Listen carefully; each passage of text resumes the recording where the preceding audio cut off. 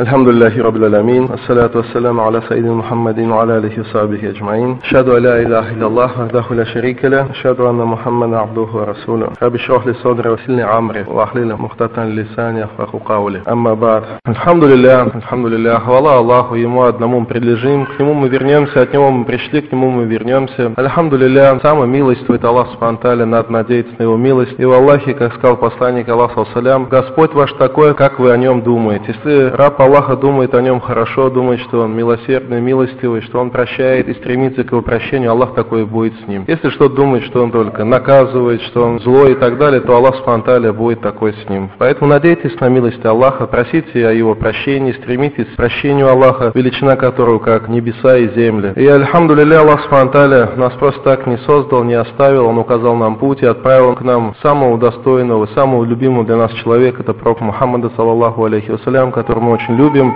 больше, чем все есть на этом свете, больше, чем самих себя, больше, чем самих себя, и мы следуем его пути. Да благословит Аллах Року Мухаммаду, саллаху алейхи всю его семью, всех сподвижников. И, альхамду мы продолжаем брать пользы из жизни великих людей этой уммы. Всех, конечно, мы не сможем перечислить взять, потому что, альхамду очень много людей, которые достойны того, чтобы мы изучали их жизни, учились у них, брали пример, как они жили, как они действовали в той или иной ситуации. Постараемся взять наиболее известные, значимых, которыми мы постоянно пользуемся, употребляем их имена, но не знаю вообще почему, как, как жил этот человек, как он заслужил такого, что Аллах Спанталя возвысил его имя над другими, так что мы чаще упоминаем их имена, чем имена других. И как же они шли к исламу, как они познавали ислам, как они узнавали ислам. В этом огромная польза для каждого из нас, потому что те проблемы трудности в Аллахе, братья и сестры, которые нас окружают, это ни в какое сравнение не идут с теми проблемами трудностями, которые претерпели на своем пути великие люди этой уммы. И когда мы сидим в теплой кухне за чашкой горячего чая и жалуемся на жизнь, на какие-то проблемы, то нам должно быть стыдно, когда мы вспомним, как жили эти сподвижники, табиаины, и после них пришедшие люди, уляма, великие люди, полководцы, правители нашей уммы. И вот сегодня, иншаллах, постараемся взять два человека, если у нас время позволит, у нас есть час. И первый я хотел бы взять человека, которого мы очень хорошо знаем, мы его любим, мы пользуемся перед передачам его хадисов, так как он передал наибольшее количество хадисов, но о его жизни очень мало мы знаем. Это, конечно, наш пробел, который необходимо устранить. И спешу напомнить, что мы здесь не разбираем скрупулезно каждая поддельная жизнь человека. И моя цель, я вижу, в том, чтобы дать толчок, заинтересовать людей, чтобы люди задумались, как же жили действительно эти великие ученые, люди и так далее, чтобы потом искали самостоятельно. Иншаллах, кто захочет, он найдет и более подробную информацию. Здесь же мы просто вкратце берем основную суть, чтобы человек вообще знал о своей религии хоть что-нибудь. Стыдно, когда все знают, в этом государстве работают все, кроме мусульман. В каком смысле? То есть не знают свою религию, не делают дават, очень мало общаются, не могут объяснить. Это должно быть стыдно. Вот этот пробел нам необходимо с вами исправить. И сегодня первый это Абу Хурайра. Адаллаху анху, о нем, иншаллах, поговорим, о его жизни. Как же так случилось, что он больше всех передал хадисов. Передал хадисов, около шести тысяч хадисов от него приходит достоверных только, которые он передал от посланника Аллаха саллаллаху алейхи вассалям, ведь это же надо было постоянно находиться с ним, с учетом того, сейчас мы поймем, что он переселился к нему позже, чем многие-многие видные сподвижники, которые были до этого. Но, по милости Аллаха, вот он смог передать больше количество хадисов, чем кто-либо другой. И свое имя, Абдурахман ибн Сахар, он получил от посланника Аллаха, после того, как уже принял ислам. То есть его имя противоречило исламу. Его имя противоречило исламу, и до ислама, в эпоху или во время джахилии его звали Абд Шамс, то есть раб солнца. Абдушамс. И отсюда мы берем пользу. У нас, сколько я уже вот последние дни общаюсь, приходит, машала принимает сюда вот недавно брат, кореец принял ислам, альхамдуля, тоже об этом вопросе спрашивал. Девушка молодая русская приняла ислам, тоже об этом вопросе. Постоянно вот пугаются, надо ли менять имена, обязательно их. Кто-то их постоянно учит, все, ты должен для мужчин имя, обрезание, для девушки имя. И многих это отпугивает. На самом деле это вида, менять имя. Нету такого в исламе не менять имя. Это первая польза. Меняется имя только тогда, когда оно противоречит шариату, исламу и акиде, таухиду, единобожию. Абдышамс, раб солнца, человек не может быть. А Абдурахман, Абдулла, пожалуйста. Если имя его не противоречит исламу, ну любое там, Александр, например, крепкий, сильный, да нет проблем в этом имени. Нет проблем. И менять его бида. У Пророка была супруга, ее звали Мария, и он не поменял ее, не сделал Мариям. И поэтому отсюда ученые уляма, это фатва единогласно, никто из них не говорит, надо менять имя. Они говорят, что он менял имя только, которое противоречит исламу как вот одно из имен Абдышамс, остальные все остаются. Остальные остаются, оставайся, пожалуйста, на своем имени. Более того, все имена, которые мы сегодня знаем, как исламские, мусульманские, Омар, Али и так далее, и так далее, они же были с джахили взяты, Халид, Ибн Валид. Они пришли уже в ислам, потом стали как бы считаться, что это исламский. А до этого этого Халида так и звали Халид. Омар так и был до ислама Омаром, но почему-то он ни один сподвижник не пришел потом в ислам и не поменял свое имя. Хоть одного сподвижника. Нет такого. Нет такого. Поэтому эта тема, это болезненная. Не надо затруднять. Пророк Салслям говорил, облегчайте, а не затрудняйте. А многие после невежества начинают грузить человека, начинают его затруднять и отпугивают от ислама. Он думает, что сейчас должен поменять имя, как я родственникам представлюсь, им одно говорить, другим другое. Это противоречие. В паспорте многие хотят. Зачем? Оставайся, будь таким же, тем более в документах. Никаких проблем тут нет. Я думаю, понятно, да, с этим вопросом? Поэтому никакого далили, что менять нормальное какого-то имя, нету. Многие даже один брат, его сейчас нет, у него имя было Раушам, он поменял. Хотя с арабское это арабское имя. Светлый, чистый, значит, машала имя. Он взял и поменял просто по своему невежеству. Вот такое тоже бывает. Это абсолютно не нужно. И вот его имя Абдурахман ибн Сахар. Он получил от посланника Аллаха после принятия ислама. И его звали Абд Шамс, то есть Рабсомс, как я сказал, родом он был из известного племени Даус Аль-Азди из Йемена. И это племя на сегодняшний день до сих пор существует. Уже Аллаху Алим сколько до пророка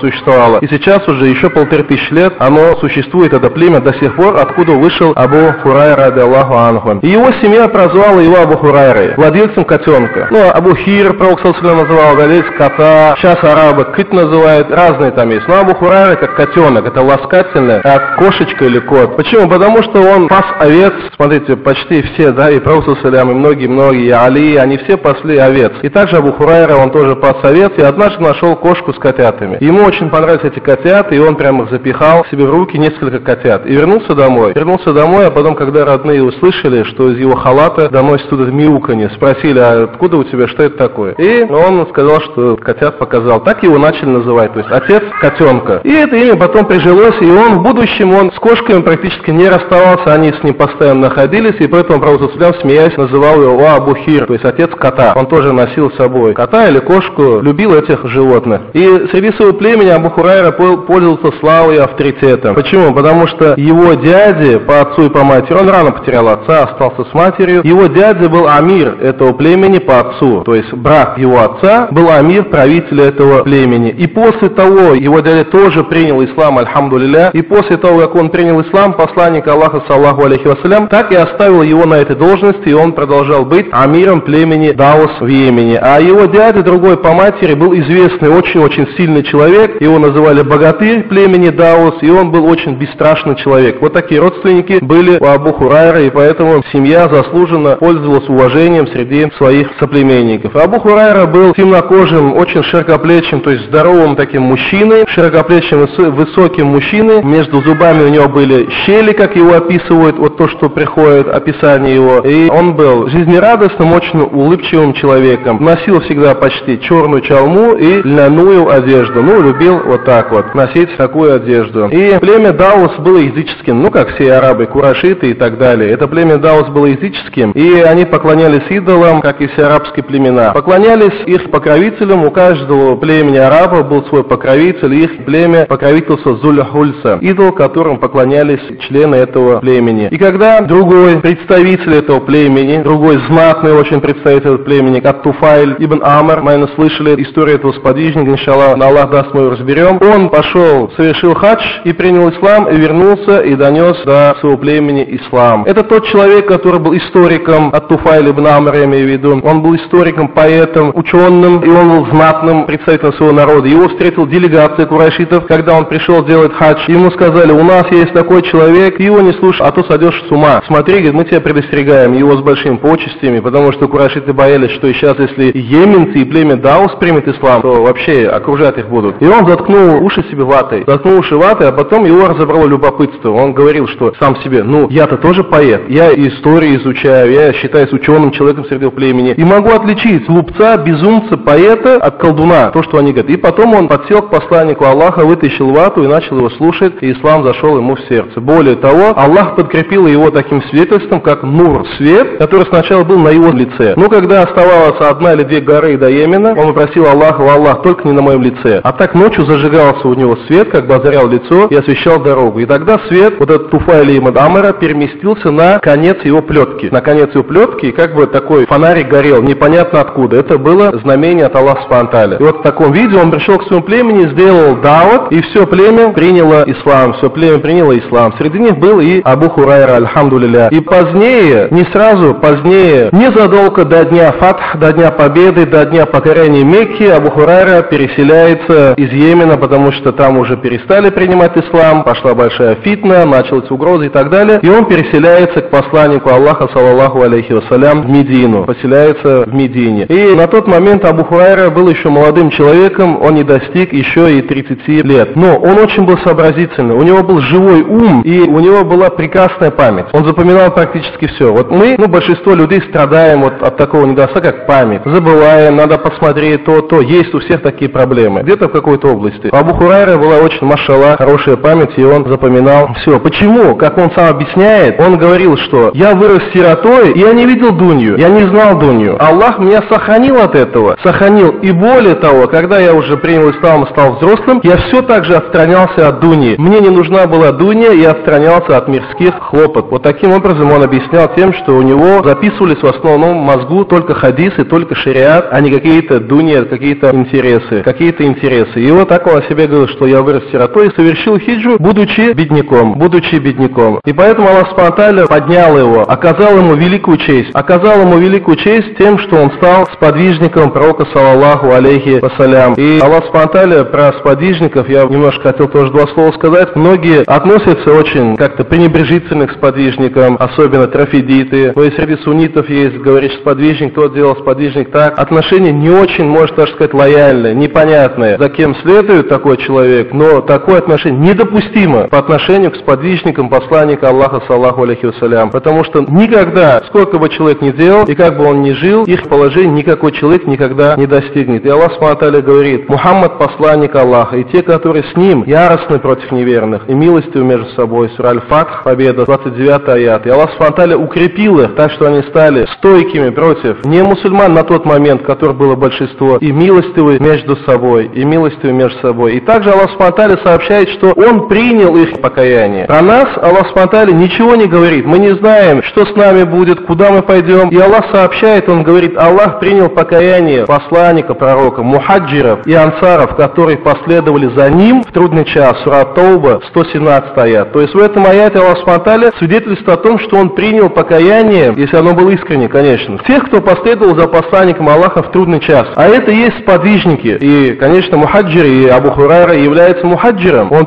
переселенец, также и ансаром. Но нам никто это не обещал. Нам никто это не обещал. И, более того, они, зная обо всех этих аятах лучше, чем мы с вами. Более того, они толковали эти аяты, учились у посланника Аллаху. И то они боялись, где они будут после смерти. У них был такой страх, такой был страх, что нам этому следует поучиться. Мы же ведем себя так, как будто бы весь Куран только про нас и говорит. Как будто нам все прощено, как будто уже Фердаус у нас билет ждет. Просто осталось немножко подождать, когда на вокзале стоишь, поезда ждешь. Поезд придет. Но куда он повезет нас с вами? Аллаху алям, Аллах знает. И у нас нет никакого страха, у нас только лишь беспечность по отношению к своему же положению, к своему, не к соседа. Пусть твоя голова не болит делами соседа, потому что ты за него отвечать не будешь. Альхамдулля, религия ислам, она справедливая религия. Она справедливая, каждый будет отвечать сам за себя. Ты за собой смотри, за собой следи, старайся больше на пути Аллаха что-то делать полезного. Ну, хотя бы что-то, что можешь. А можем мы немало, братья и сестры, просто мы не хотим. Нет такого слова «не могу» вообще в жизни мусульманина. Чем сложнее испытание, тем больше награда от Аллаха. Но есть у нас такое слово, как «не хочу». Не хочу. Вот человек не хочет, и потом начинает оправдывать себя теми, теми, теми. Лень. Лень окружает его, боязнь потерять какие-то средства, какие-то мнимые благополучия в этой жизни. У сподвижников этого не было. И вот, видите, мы, как они переселялись, шли, шли и доходили. До чего? До довольства Аллах Спанталя. И вот эти люди, которые остались, все, они дошли до этого аята. Аллах Спанталя именно про них не спасал от аят. Опять повторяю, Аллах принял покаяние, тобу, то есть искреннее раскаяние, тобу пророка, мухаджиров и ансаров, которые последовали за ним в трудный час. Сурат Тауба, 117 аят. 117 аят. Нам до этого, конечно, далеко. И посланник Аллаха, саллаху алейхи вассалям, сказал, не ругайте моих сподвижников. Если бы один из вас пожертвовал золото количеством с гору Ухуд, кто пожертвовал золото с гору Ухуд? Вы вообще видели гору Ухуд? Это вот там, если кто хаджи был, там холм, на котором лучники сидели, это не гора Ухуд. А вот эта вся горная гряда, это и есть гора Ухуд. такого черного цвета. Это огромное количество, я даже не знаю, сколько там тонн золота. Нам столько золота никогда, даже если ты столько же пожертвуешь, будет у тебя, дай Аллах, что ты столько пожертвовал на пути Аллаха. Но даже и тогда, сказал посланник Аллаха, саллаху алейхиссалям, это не сравнилось бы с пригоршней, пожертвованной ими, то есть его сахабами, и даже с ее половиной. То есть, что сдали они пол ладони, ты даже гору уху отдашь золото, это никогда не сравнится. Это никогда не сравнится. Сахих джамия сахих. То есть, посланник Аллаха сказал, что мы не сможем достигнуть. И обязаны мы проявлять уважение сахабам посланника Аллаха, саллаллаху алейхи вассалям. Ибн Аббас, ради Аллаху анху, также говорил, не ругайте сподвижников Мухаммада, саллаху алейхи вассалям, поскольку час их пребывания рядом с ним, с пророком, саллаху алейхи вассалям, лучше, чем ваши старания в течение 40 лет. Чем ваши старания в течение 40 лет. Мы вообще даже не знаем. Вот сейчас намаз читали. Аллаху алям, кто из нас тот счастливчик, чей намаз примется? Мы все надеемся на это. Но, может быть, чей-то намаз и не примется. Чей-то намаз, а это 40 лет, ты будешь стараться, возможно, ничего не примется. И то час жизни сподвижников лучше, чем твои 40 лет непрерывного айбадата. Поэтому мы должны знать цену сподвижников, знать, какую они жизнь прожили, какое наследие оставили, что они вытерпели. Иногда удивляешься, читая их биографии, жизни, думаешь, разве простой человек это возможно? Возможно. Сделали же, думаешь, что их тела из стали, из камня, потому что мы абсолютно не такие. И поэтому мы в таком положении, они были в другом положении. У нас есть вроде бы какие-то блага цивилизации, но нет у нас того, что есть у них. У них не было благ цивилизации, но у них был иман, богобоязненность, у них была терпение, сила духа, что напрочь отсутствует у нас. А мы поменяли это все на кусок хлеба с маслом, можно так сказать. Потому что сейчас про жизнь Абу Хурайра увидим, что вот этого куска хлеба с маслом у него и не было. У него не было. Но он самый большой передатчик хадисов. И я вряд ли сомневаюсь, что он поменял бы вот это звание на кусок хлеба с маслом. То, что мы с успехом и делаем. Имам Ат-Тахави говорил в его книге Акида Ат-Тахави, он говорил, мы любим сподвижников посланника Аллаха, саллаху алейхи вассалям, не проявляем чрезмерности в нашей любви к ним. То есть мы не поклоняемся им, мы не просим у них, мы не боимся их, как Аллах спонтали, мы не делаем дума, дуа им, как Аллах спонтали и так далее, но мы любим их, как они того заслуживают. И не отрекаемся ни от одного из них. Мы не любим тех, говорил имам, кто ненавидит их или недостойно от них отзывается. Поэтому любовь к такому человеку это из акиды мусульманина. Если ты видишь, что брат недостойно говорит о сподвижнике, ты должен сделать ему порицание, замечание. А если он не оставит такое делать, то у тебя должно быть в сердце не любовь к такому человеку. Не хотя бы в сердце должно быть не любовь. Говоря же о них, мы говорим только благое. Любовь к ним это часть религии, веры и их сана, то есть высшей степени веры. А ненависть к ним прямая противоположность вышеуказанному. Аль-Акида, страница 396. И говорит, имам придерживаться таких убеждений обязан каждый мусульманин, если желает, что у него акида была действительно сильная, действительно, которая соответствовала той, на которой был посланник Аллаха, саллаху алейхи вассалям. И посланник Аллаха, саллаху алейхи вассалям, возвращаясь к теме, он сделал дуа за племя Даус и сказал, «О Аллах, наставь племя Даус на прямой путь и приведи их в ислам». Тогда Абу Хурайра был уже верующим человеком, однако благословление этого дуа тоже не миновало его, и его тоже коснулось, так как он был из этого племя. И об этом свидетельствуют слова посланника Аллаха, саллаху алейхи вассалям, который подчеркнул превосходство мусульман Йемена. Он сказал, «Вера из Йемена и мудрость из Йемена. К вам приехали жители Йемена». А Абу Хурайра – житель Йемена, который приехал к мухаджирам и ансарам. И Пророк сказал, «К вам приехали жители Йемена с тонким умом и мягкими сердцами». Аль-Бухари, 219 сообщение. И мы вот видим, Пророк, саллаху алейхи вассалям, говорит, «Вера из Йемена и мудрость из Йемена». И говорит, что у жителей Йемена тонкий ум и мягкие сердца – это похвала, которой мало кто удостоивался, тем более от посланника Аллаха, саллаху алейхи вассалям, и в это число вошел Абу Хурайра. И Абу Хурайра также еще удостоился еще одной дуа. Пророк Мухаммад, саллаху он и его мать отдельно, Пророк саллаху для них сделал дуа. И он сказал, посланник Аллаха, саллаху алейхи вассалям, «О Аллах, сделай это своего раба и его мать любимыми для своих верующих рабов, и сделай верующих любимыми для них». Аль-Джамия Сахих, имам Муслим, 166 сообщение. То есть он сделал дуа, чтобы все мусульмане были любимы для них, а они были любимы для мусульман. А мусульмане мы обязаны любить друг друга. Мы любим только тех, кто действительно мусульманин. У нас должна быть обязанность, любовь к своему брату мусульманину. Даже если какие-то есть отрицательные черты у каждого из нас. И у меня есть, и у вас есть. В Аллахе, если кто это отрицает, он просто горделивый, высокомерен, потому что есть. Надо признавать это. Но, тем не менее, любовь должна быть. Любовь в наших сердцах – это от веры к своему брату. И вот он за них такое дуа и сделал. И когда Бухурайра переселился в Медину, у него не было ничего. И как он говорил, я рос сиротой и переселился в Медину, сделал хиджру битником. Ничего не было. И он поселился где? где? Во дворе мечети пророка Мухаммада, саллаллаху алейхи вассалям, где жило также очень много мухаджиров, у которых ничего не было. Это место называлось Асуф. Оно было такое тенистое, тенистое место, такой угол был в мечети, как говорят историки исламские, именно там и остановился Абу Хурайра. Абу Хурайра. И он поставил себе единственную заботу изучение ислама, изучение Корана, изучение хадисов и,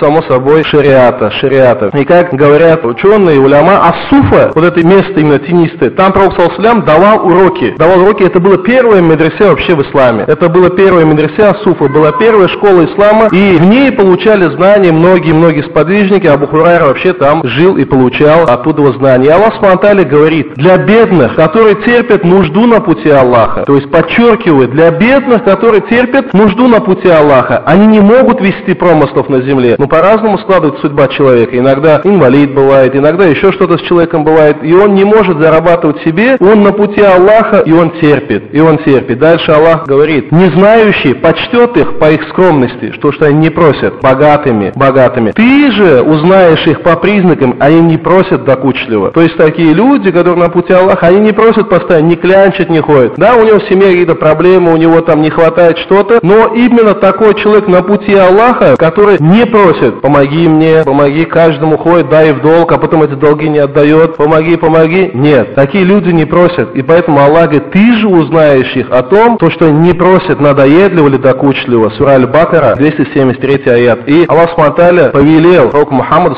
быть именно вместе вот с такими людьми. В другом аяте он ему говорит, терпи душой с теми, которые взывают своему Господу утром и вечером, стремясь к его лику. Сура Аль-Ках, 28 аят. Именно вот об этих бедных людях, которые жили во дворе мечети, как говорят муфасиры Курана, и идет речь. И они были те, которые не просили, они терпели. Не было вообще ничего. У многих из них был всего лишь изар. Изар это накидка, да, которая от пояса до ниже колен спускается. Больше у них ничего не было. И они терпели на пути Аллаха, и Аллах Спанталя поднял их всех. И в их числе был Абу Хурайра. И Абу Хурайра очень сильно полюбил посланника Аллаха, саллаху алейхи вассалям. И однажды он так сильно полюбил его, что однажды он признался ему, «О посланник Аллаха, когда я вижу тебя, душа моя становится счастливой, а глаза отдыхают», передает имам Ахмад в своем Муснаде 323 сообщение. И эта любовь полностью овладела Абу Хурайрой до такой степени, что он говорил, что услышит один хадис из уст посланника Аллаха, саллаху алейхи вассалям, лучше, чем тысячи ракетов дополнительной молитвы. Чем тысячу ракет дополнительной молитвы, лучше услышит один хадис из уст посланника Аллаха, саллаху алейхи вассалям. И страстная любовь овладела полностью им. И когда он просто даже не мог просто слышать имя Мухаммада, саллаху алейхи вассалям, тогда он приходил сильное волнение. И после смерти уже пророк, саллаху когда при нем упоминали его имя, он просто находился в рыданиях, и его долго не могли успокоить, так он любил посланника Аллаха, саллаху алейхи вассалям. И поэтому он был вместе с ним везде, не только в мечети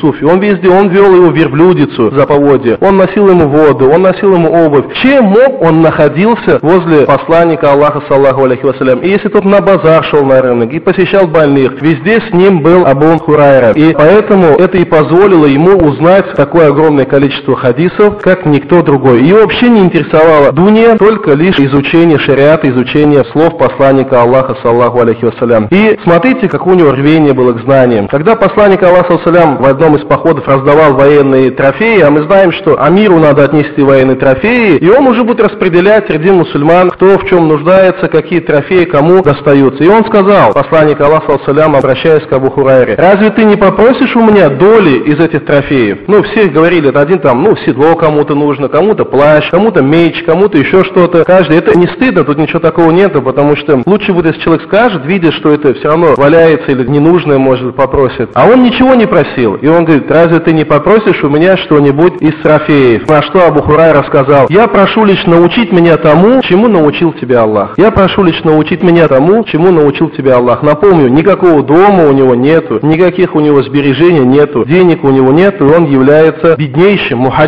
можно сказать, среди всех других мухаджиров. И Аллах Субтитры за это поднял его, конечно. И то, что вот он посвятил свою жизнь изучению шариата, иногда были с ними такие курьезы, когда он несколько дней вообще не ел, но не просил. И тогда он без сознания падал от голода, лежал на земле, и сподвижники многие даже ногой его пинали, думали, что эпилепсия у него, что человек просто закатился и лежит без сознания, и пинали ногой. Но на самом деле это он просто от обессиления, у него силы кончались, от голода падал на землю. Падал на землю. И поэтому мы видим, что именно вот из такого терпения выросли такие поколения, которые покорили почти весь мир. Аллах Спантали отдал им. Они терпели, да, в желудке пусто было, зато у них был иман в сердце и мудрость в голове была, что у нас ни того, ни того. У нас желудки полные, но сердце и мозги пустые. У нас этого ничего нет. Только единицы сейчас, у кого есть действительно и в сердце, и в голове, и те являются учеными. И Аллах Спантали поднимает их, поднимает их. И даже про других сахабов говорится, что однажды даже Али ибн Абу Талиб пошел к своей супруге, дочери посланника Аллаха Салям, Фатиме, и смотрит, что дети его плачут. Аль-Хасан, Аль-Хусейн, и он спрашивает, почему они плачут? И Фатима сказала, они плачут от голода. Даже у дочки посланника Аллаха Салям не было такого изобилия, какой-то роскоши, не говоря уже про самого посланника Аллаха, саллаллаху алейхи вассалям. И более того, в будущем, ну, иншаллах, его тоже жизнь разберем, Салахаддин, он когда формировал свое войско, да, сначала выступили, они отбили и так далее атаки, но крестовые походы продолжались. Он из вот этих вот людей, которые были с ним в войске, отбирал их детей, сам проводил воспитание, и потом они уже составляли костяк его войска. То есть не те, которые вышли с ним, они все равно были не такие. Они уже были испорчены. А вот их дети, более того, там было два поколения, как говорится, и дети их детей, то есть внуки, которые первые вышли с ним, вот это были настоящие воины, которых он воспитал, Салахадин, или же его военачальники, под его руководством они воспитали вдали от этой дуни и воспитали костяк мусульманской армии, который уже никто не мог прошибить. Ни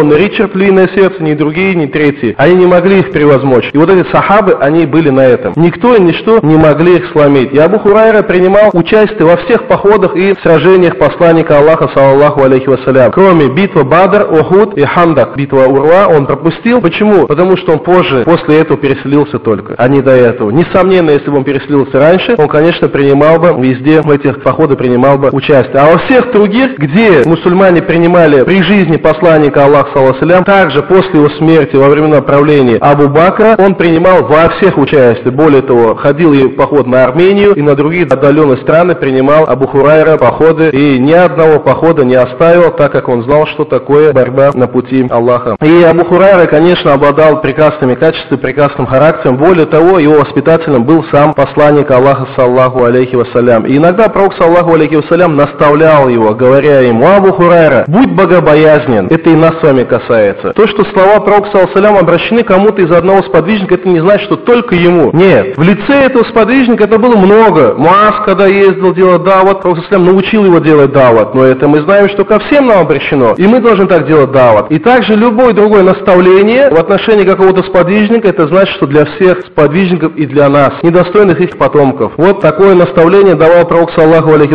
Абу Хурайре. О, Абу Хурайра, будь богобоязен, и ты будешь лучшим в поклонении Аллаху, то есть бойся Аллаха, и ты будешь лучшим к Аллаху. Довольствуйся малым, и ты будешь самым благодарным из людей. То, что Аллах дает, скажи, альхамдулля, довольствуйся этим, и ты будешь самым благодарным из людей. Желай людям того, чего ты желаешь самому себе, и ты станешь верующим. Желай людям того, что ты желаешь самому себе, и ты станешь верующим, говорит посланник Аллаха, саллаху алейхи вассалям. Будь благодетелен к своим соседям. Опять тут мы и на джума разбирали, да, и тут и разговор о соседях идет. Даже тут Пророк говорит о соседях. Будь благодетелен к своим соседям, и ты станешь мусульманином, говорит Пророк, саллаху алейхи вассалям. И меньше смейся, ибо частый смех губит душу. Китаб Ас-Сунан, ибо имам Маджи приводит сообщение 141. И меньше смейся, ибо частый смех губит душу. Вот это вот наставление мы тоже должны взять себе на вооружение. Это простые правила, но почему-то нам с вами, братья и сестры, очень сложно выдерживать, выстаивать эти правила, хотя никакого тут невозможного нету. Наоборот, сейчас настолько лицемерный мир, что если ты с кем встречаешься, ты должен лицемерить, играть какую-то роль, подделываться, что-то говорить, а тут ты просто должен быть самим собой. Ничего лишнего, ничего лицемерного, и тогда ты будешь верующим мусульманином, как сказал посланник Аллаха, саллаху алейхи вассалям. И Абу Хурайра навсегда запомнил это наставление, более того, он передавал и учил и свою семью, и своих учеников этому наставлению. Его сосед был Амар ибн Ясир, и, конечно, он очень любил своего соседа и очень добродетельно к нему относился. И после того, как посланник Аллаха, саллаху алейхи вассалям, сказал, что надо меньше смеяться, Абу Хурайра, ради Аллаху Анху, перестал много смеяться и стал больше плакать. И мы знаем, что чтение Корана, изучение его является из признаков веры. Абу Хурайра максимально сосредоточился на этом. Посланник Аллаха, саллаху алейхи вассалям, сказал, лучшими из вас являются те, кто изучает Коран и обучает ему других. Поэтому изучайте Коран как можете. Кому Аллах Спантали дает, машалла, память, он хафиз. Многим дает память, но они не стремятся использовать ее. Многие с трудом читают, но искренне им двойная награда. В Аллахе, как сказал посланник Аллаха. Даже если человек делает ошибки, но он искренне на пути Аллаха, ему двойная награда будет по сравнению с таким же его собратом из арабов, которые лучше читают. И Абу Хурайра многих и многих, как говорили сахабы про него, историки, опередил в этом деле. И он изучал Куран и записывал его со слов Убай ибн Каб. А Убай ибн Каб это тот человек, который записывал Куран для посланника Аллаха, саллаху алейхи вассалям, был писцом у посланника Аллаха, саллям, и знал Куран как никто другой, слыша это непосредственно от посланника Аллаха, слыша, как он трактует те или иные аяты и так далее. И Абу Хурайра изучал Куран вместе с Убаем ибн Кабом. И учеником, наверное, вы слышали, был такой Абу Джафар Язид ибн Аль-Кака Аль-Мадани. Он был один из самых знаменитых чтецов Курана, посредством которого сохранился вот сам Куран, как мы его знаем. Их же были разные версии, там диалекты были. Вот этот чтец, он был знаменитый чтец Курана, который слава распространилась далеко, далеко. И мы знаем, что вообще знания распространяются же от учителя к ученику, передаются, если даже они записаны, то есть вот таким образом Абу Хурайра взял от Убаева и потом научил Кака и так далее, и так далее, это пошло, это пошло. И, конечно, Абу Хурайра очень был усерден в поклонении. Про Сахабу вообще это может даже тему не поднимать, эту тему не поднимает, но это нам полезно, нам, мискенам, потому что мы несчастны в этом поклонении, мы элементарно не можем лейно встать, тахарат сделал, сделай два ракета, возьми себе привычку, самое просто, ты же всегда ходишь в туалет, ты не можешь не ходить в туалет, но ты как мусульманин после этого должен взять омовение. И сделай себе привычку после этого, делай два ракета намаза нафиль. Отличное будет поклонение, оно всегда будет с тобой, ты никогда не забудешь, потому что невозможно забыть свой поход в туалет. Никто этого не может избежать, все ходят по малой или большой нужде, это нормальный закон Аллах спонтали, но используй его, преврати его во благо, преврати его во благо, сделай омовение, сделай два ракета нафиль намаза тахарат, но мало кто этим пользуется, мало вообще кто об этом задумывается, и поэтому мы должны смотреть, как они пользовались благами от Аллаха, свободным временем, здоровьем, как поклонялись Ему, чтобы сами себя улучшить. И Абу Усман Нахды остановился однажды в гостях у Абу Хурайры, и он говорил, Абу Хурайра, его жена его слуга делили ночь на три части, делили ночь на три части. Один совершал молитву, затем будил другого. И вот так они по очереди всегда совершали молитву. Аль-Бухари, 7 том, 102 сообщение. И сам Абу Хурайра о своем режиме говорил, я разделяю ночь на три части. Первую ночь я сплю, вторую треть совершаю молитву, а последнюю треть вспоминаю хадисы посланника Аллаха, саллаху алейхи вассалям. Имам Ад-Дарими, своем Ас-Суннан, 82 сообщение. И он постился каждый понедельник и четверг, и Абу Хурайра также говорил, более всего скуп, то есть жаден тот, кто скупится или жадничает на приветствие. Поэтому я постоянно вам напоминаю об этом. Это основа основ сунны посланника Аллаха, салям. Абу Хурайра тоже говорил, самый жадный из людей, кто скупится или жадничает на салям. В любой ситуации давайте салям. И все сподвижники так делали. И Пророк Салям призывал так делать. И Абу Хурайра говорит, самый жадный из людей тот, кто жадничает на салям, на приветствие. А более всего ленив тот, кто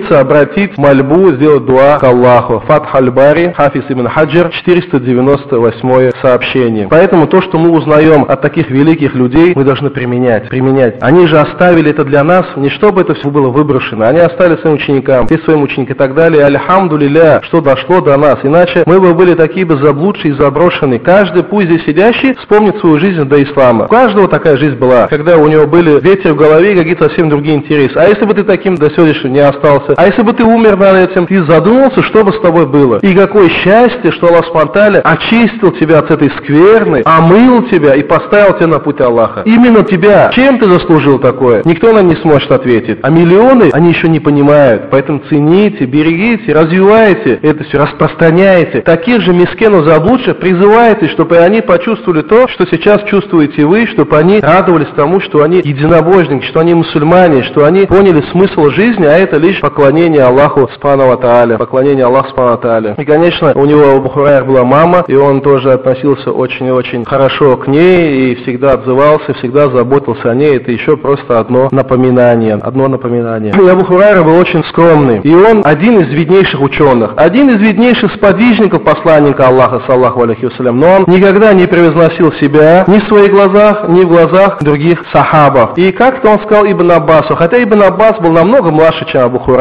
и он сказал ему, ты лучше меня и более знающий, подтвердив, что Ибн Аббас более знающий и лучше. Не сказал, что ты мальчишка, учись и так далее. Нет, он сказал, что ты лучше меня и ты более знаешь. И он был великодушным, конечно, и щедрым человеком. Вот смотрите, сколько мы взяли, да, до этого, машала, уже по милости Аллаха разобрали нормальное количество людей. Мы все видели, что они все щедрые люди. Никто из них не оставлял себе ничего. И в том числе, конечно, не исключение Абу Хурайра. И когда ему доставались какие-то подарки или ценности, и после смерти посланника Аллаха у него жизнь изменилась, у него появился достаток, у него много чего изменилось, он все раздавал практически людям, помогал обычным людям. И посланник Аллаха, саллаху алейхиссалям, свидетельствовал о его знаниях. И как-то Абу Хурайра спросил пророка, кто же счастливейший из людей, который удостоится твоего заступничества в день воскресения, о посланник Аллаха, саллаху алейхи вассалям. И он сказал ему, видя твое рвение в изучении хадисов, я предполагал, о Абу Хурайра, что никто не спросит меня об этом раньше тебя. То есть посланник Аллаха уже так думал про него, что, наверное, никто не спросит, кроме него. Это какая честь, какая похвальба, что пророк, саллаху о тебе так думает. И он говорит, самыми счастливыми людей, которые будут удостоены моего заступничества, в день воскресения будут те, кто скажет «Ля иляха или Аллах» от чистого сердца, с ихласом. Вот эти самые лучшие люди. То есть не просто скажут, имеется в виду, а будут следовать единобожию, будут следовать этому завету с Аллахом Субхану Аль-Бухари, 146 сообщение. И посланник Аллаха, саллаху доверял, более того, поручал распространять ему аяты и хадисы, именно Абу Хурайры. И однажды он сказал ему, выйди и возвести в Медине, что нет молитвы без чтения Корана, хотя бы суры Аль-Фатиха, а кто может, то и более того. Абу Дауд, 188 хадис. И мы знаем отсюда, что нету у нас никакой молитвы, минимум без Фатихи. А если кто-то может, то и должен больше этого тоже прочитать какую-то короткую зам сура, короткую зам сура. И другие сподвижники свидетельствуют о нем так. Тальха ибн Убайдуллах, один из десяти обрадованных раем, который также очень любил пророк, саллаху алейхи вассалям, он сказал, несомненно он, Абу Хурайра, слышал от посланника то, чего не слышали мы, потому что он был нищим, неимущим, постоянным гостем посланника Аллаха и ходил с ним рука в руку. Мы же, говорит Тальха, это говорит такой человек, которому Пророк обещал джанат уже при жизни. Это 10 оправданных аям, мы обязаны их знать. И он говорит, мы же имели дома и богатство и приходили к посланнику Аллаха лишь на рассвете и вечером. От Тирмизи 226. Это не значит, что они пренебрегали, нет. Но у них были обязанности и заботы, они были, машалла, сподвижники, и Пророк про это сам сказал. Но Абу Хурайра, как говорит Тольха, был лучше, чем мы, потому что он был нищим, неимущим, он всегда был рука в руку с посланником Аллаха, саллаху алейхи вассалям. И, как я уже говорил, Абу Хурайра передал больше пяти тысяч, там пять, около шести, вот так где-то между ними, тысяч хадисов от посланника Аллаха, саллаху алейхи вассалям. И перед пятничной молитвой он их рассказывал в мечети пророка Медине, его слушали сподвижники и другие его последователи, табирины, которые приезжали специально послушать, и он давал уроки, давал уроки. И после смерти, убийства Османа ибн Аффана, ради Аллаху Анху, он был хады, он выносил фатва в Медине. И эти фатва всегда находили доверие среди других сподвижников, посланника Аллаха А мы знаем, есть такое правило в исламе, если есть какое-то решение сподвижника, ему никто из сподвижников не противоречит, все, оно единогласно принимается. Не обязательно, чтобы каждый говорил, да, я знаю, это правильно, это правильно. Достаточно того, что они не противоречат. Если они противоречат, тут надо уже смотреть, тут дело уже больших уляма. А его фатва, как говорят историки уляма, они не противоречили никому из сподвижников, вернее, никто из сподвижников не противоречил его фатва. И вот он выносил фатва после смерти Османа ибн Аффана. И сподвижники очень высоко ценили его. Абу Бакр, когда он стал уже халифом, назначил его помощником Амира Бахрейна. Помощником Амира Бахрейна. А когда же умер Абу Бакр и стал халифом Омар ибн Аль-Хаттаб, ради Аллаху Анху, то он не просто помог, он его уже Амиром назначил, Бахрейна. И мы видим, что отсюда понимаем, они же понимали, Абу Бакр, мудрейший человек, ибн Хаттаб, вообще, машалла, правитель, справедливейший человек, и они понимали, кто заслужит этой должности. И значит, Абу Хурайра не только разбирался в шариате, в хадисах, но он еще и умел грамотно управлять. А это соединить очень сложно, чтобы ты умел грамотно управлять, под твоим началом большая территория земли, люди, и умел преподнести религию Аллаха. И поэтому они доверили ему такую область, как Бахрейн, где он был амиром Бахрейна. Амиром Бахрейна. И у него было четверо сыновей и дочь, это то, что известно. Аллаху может быть больше. Аллаху то, что я вот сумел найти, четверо сыновей и дочь. И они все обучались у отца и стали видными деятельными в исламе. И его род сейчас тоже сохранился, который восходит Абу Хурайра, и особенно он есть в Египте, Ливии, Тунисе, как говорят, Алжире и Марокко. Род, который восходит Абу Хурайра. И Абу Хурайра прожил 78 лет. 78 лет. И что мы видим отсюда? Что Абу Хурайра искренне исполнил свой долг. Искренне исполнил свой долг. И когда он уже умирал, он лежал на смертном одре, он говорил, не оплакивайте меня, когда я умру, потому что посланник Аллаха запретил, и его не оплакивали, и он запретил оплакивать. А затем он заплакал сам. Затем он заплакал сам, и его спросили, что заставило тебя плакать? Абу Хурайра, ты нам говоришь, чтобы мы не плакали, а сам лежишь и плачешь. И он ответил, я плачу не по мирской жизни, в которой вас оставляю. Я плачу от того, что мне предстоит дальнее путешествие. Но я очень мало приготовил для него.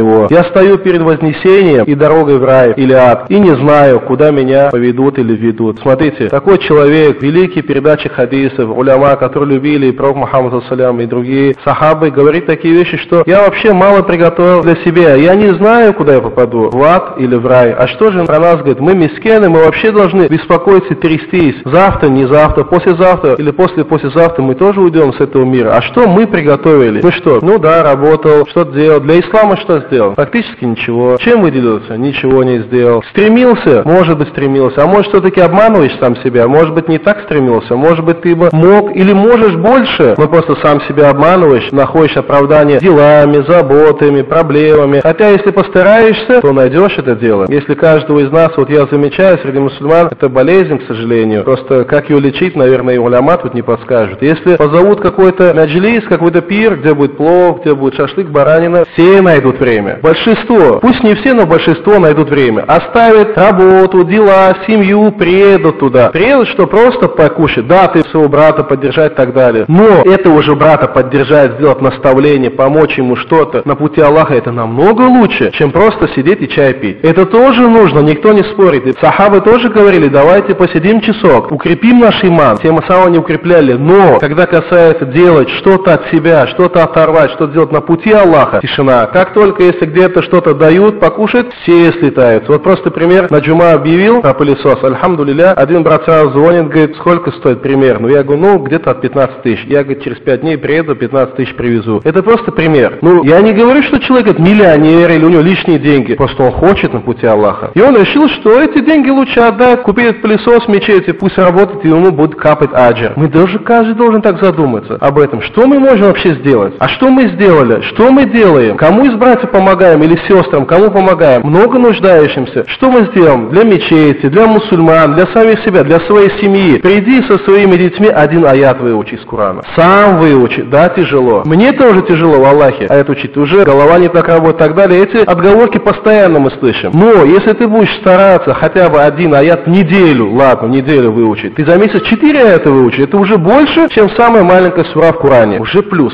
С своими детьми учи, а у них машалла голова работает. Приезжай и скажи, давайте будем читать. Пусть хотя бы просто читает. Пусть учит. Ты оставишь огромное наследство. Пусть ты не оставишь им деньги, квартиры, коттеджи, машины, но ты их научишь читать Коран, научишь их любить Коран, привьешь их любовь к исламу и так далее. Это же лучше. Это лучше. И ты попадешь в тот хадис, где сказано, что три дела не прекращаются. Это благие дети, одни из них, которые делают дуа за своих родителей. Если твой ребенок читает Коран, учит его, ты с ним вместе учил эти аяты, то он благой ребенок, и он будет делать дуа за тебя, это дело не прекратится. И после смерти ты будешь получать дивиденды. Тебе в твой китаб аль-амаль будет записываться книгу деяний. Вот эти благие деяния, это мы можем все, но не хотим. Мы хотим что домой прийти, а после работы такая голова болит, ничего не хотим, не надо нас не трогайте, упали. Да, тяжело, все хотят отдыхать, но с твоими детьми кто будет заниматься? Ну кто будет? Никто не постучится в твою дверь в Аллахе, не придет, не скажешь, да, я позанимаюсь каждый день. Не придет никто, не жди. Если так ждешь, сам себя обманываешь. Только ты, твои дети нужны тебе, нужны тебе. Только ты со своей супругой, со своими детьми, ты обязан заниматься. Мы, мужчины, обязаны это делать. Своих детей поставить на путь истины. Это будет самое лучшее, что можем сделать. Это наша семья. И дальше думает, но мы же этого не делаем. Мы же это большинство не делает, оправдывает себя, что он заработал, что он устал. Но это твоя обязанность. Кормить, раз ты уже женился и у тебя дети появились. Кто же их будет кормить-то, если не ты? Это твоя обязанность. Ты выполняешь свою обязанность. А вот если не будешь выполнять, ты будешь зарабатывать грех. Поэтому ты должен кроме этого что-то делать. Но как мало тех, которые действительно стараются что-то делать, обучают своих детей, следят за ними и дальше помогают мусульманам в исламе, в религии и так далее и тому подобное. И Абу Хурайра, возвращаясь к нему, умер в 57 году хиджри, 57 году хиджри. И многие-многие сподвижники, дожившие к тому времени, присутствовали на похоронах этого великого сподвижника, и они говорили, он был одним из тех, кто сохранил хадисы посланника Аллаха для мусульман. Это же великая честь. В каждой книге Аль-Бухари, Муслим, Абу Дауд возьмите, любые сборник хадисов, непременно встретите в Аллахе, клянусь Аллахом, имя Абу Хурайра, и встретите чаще, чем любой другой. И это такой титул заслужить, как передатчик хадисов посланника Аллаха, это очень дорого стоит. Пусть не богатый и так далее, но ты передавал слова самого посланника Аллаха, салаллаху алейхи вассалям. Вот что касается жизни этого великого сподвижника, вкратце, конечно, но я думаю, каждому из нас стоит задумываться. Нищий пришел сам из Йемена, через всю Аравию пересек, от Мекки до Медины 500 километров, а еще и до Йемена надо ехать. Перешел, ничего не было, жил под навесом, падал от голода, но вытерпел. И Аллах поднял его, что он из этих нищих, как для нас сейчас, да, человек без сознания лежит от голода, нету ничего, он амиром стал. Целой области, целой вилаята, это амир Бахрейна, Аллах так его поднял. В его жизни было все. Возьмите на вооружение, возьмите для себя что-то полезное. Что вы еще можете делать? Поэтому, если даже сами не мощны, когда хотя бы вас просят, не отказывайтесь, поучаствуйте в том или в этом, иншаллах, чью-то проблему вы решите. А может быть, Аллах спонтанно из-за этого вашу проблему решит. Как сказал посланник Аллаха Саляма, тот, кто помогает своему брату или своей сестре, в исламе имею в виду, в какой-то нужде и проблеме, Аллах обязательно облегчит его проблемы. Но лучше не ждать, лучше, чтобы человек просил или еще что-то делал, не вынуждать своего брата или сестру позориться. Лучше ему помочь ради Аллаха и также помогать мечетям. Вот строим эту, иншаллах, будем добиваться других, других. Мы вместе можем многое. Каждый из нас думает, ну что я могу один? Ты не один, ты частичка джамата, ты частичка джамата. Если мы будем укрепляться, нас много, нас много. И когда даже история этой мечети, она только-только начиналась, тут вообще никого не было. Ну, альхамдулилля, сколько он на джума собирает, сколько братьев, как мы любим друг друга, как мы проводим Рамадан. Во многих местах такого нету. Что вот так каждый день проводили Рамадан, это уже большая заслуга. Но нам нельзя останавливаться, нам нужно идти вперед, глядя на вот таких вот сподвижников. Я хотел второго сподвижника забрать, но уже, наверное, не успеем. Сальман Аль-Фариси, иншаллах, когда уже завтра мы разберем его, начнем, потому что тут уже 14 минут осталось до Азана, за это время не успеем. Я просто хотел сказать, что тут есть одна сестра тоже. Ну так случилось, что она осталась одна с тремя детьми. Если кто-то может помочь, помогайте, пожалуйста. У меня есть номер карточки ее. Если кто-то хочет, может хоть какие-то средства перевести ей. На работу не может устроиться в силу там внешних причин. Выглядит не очень, как бы сказать, привлекательно. Из-за этого многие-многие отказывают ей в работе. Может быть, кто-то работой может помочь. Это было бы вообще замечательно, чтобы человека, ну, не стыдить, может быть, как-то. Пусть человек работает сам и не приучать к попрошайничеству. Это тоже хорошо. Если какую-то должен человек, каждый человек выполняет общественно полезное дело. Мусульманин, прежде всего, если можете обеспечить работой, было бы неплохо. А если нет, ну, хотя бы помогите там, кто чем может. Иншаллах, потом, если кто захочет, подойдет, я дам карточку, или же сами поедете, отдадите бисмилля на пути Аллаха. Я прошу Аллах Спонтан, чтобы Он простил нас всех, простил нам наши грехи, недостойных Его рабов, наставил нас на путь истинных, укрепил нас в исламе, очистил наши языки от скверных гаибата, сплетен, и чтобы мы говорили о своих братьях и сестрах только самые хорошие, положительные. Иншаллах, тогда мы так скрепимся, что никто не сможет влезть между нами. Я прошу, чтобы Он собрал нас под сенью, тенью, знамени пророка Мухаммада, саллаху алейхи вассалям, день расчета и вел вместе с ним сады Фирдаус Джаннат. Субханка Аллахума бихамдик, ля илях ля анта, астафир кутубиляк. Баракаллаху фикум. У нас 10 минут времени есть. Можно вопрос?